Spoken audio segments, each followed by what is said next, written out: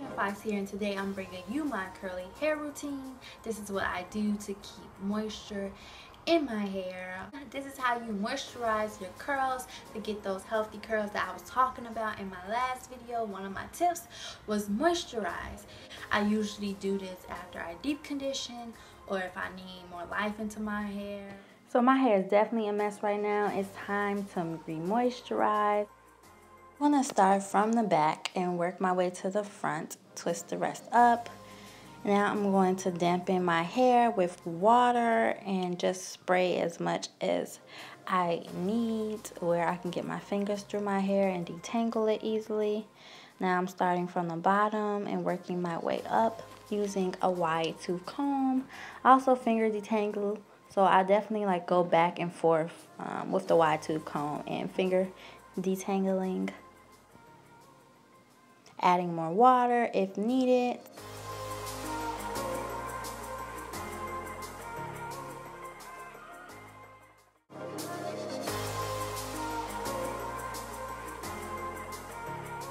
Now I'm going in with my Shea Moisture conditioner. This stuff is really bomb. Yes, girl. Now I'm putting that all through my hair, starting from my ends and working my way up while also finger detangling my hair. Now, I love this stuff, Shea Moisture Curl Enhancing Smoothie. It gets my hair so defined, you guys, yes. So I'm putting that in my hair next, starting from the bottom, working my way up, detangling as well.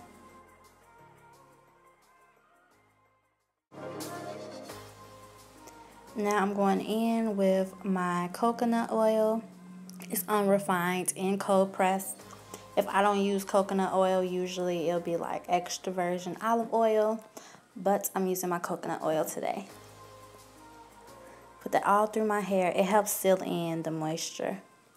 Now I'm basically going to repeat the steps um, for the rest of my hair, working my way up. And I am dampening my hair again combing it through, making sure I get everything. Now I'm finger detangling to help me out, twisting the rest. And I'm basically doing the exact same thing. My first step would be um, to put in my conditioner. Usually I use leave-in, but right now all I have is conditioner. So this is what I'm using. And then the curl enhancing smoothie is next. And then I just put on my coconut oil on top to seal it. And you see how defined my hair is now after um, a curl enhancing smoothie and with the oil. Like, yes, that's what we need.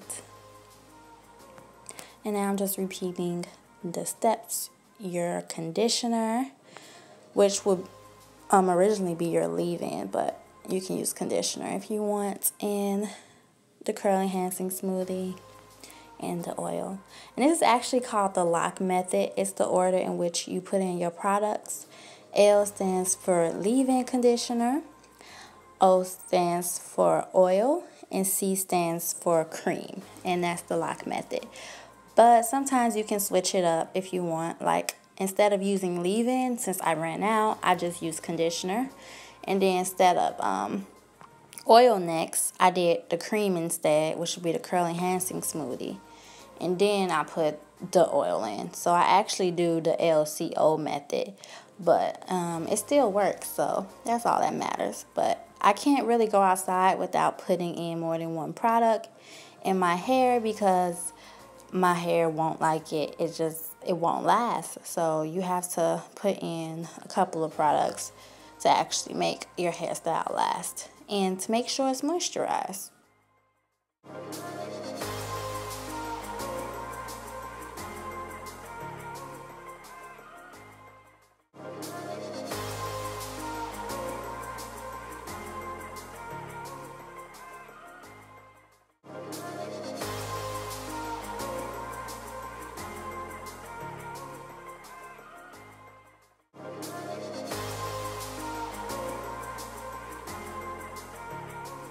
Now I'm just rubbing oil all around my edges and then I'm just putting oil on my ends. Now I'm putting on my headband, let my hair dry, and I'm done. I really hope this video helped you guys. Let me know if you have any questions, any concerns. Thank you guys so much for watching. See you next time. Hair is everywhere. Everywhere.